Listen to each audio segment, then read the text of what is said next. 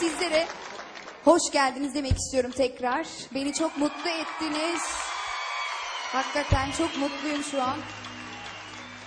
Bir şey söylemek istiyorum. 2009 çok güzel bir seneydi benim için. Çok güzel şeyler yaşadık. Ağladık da güldük de.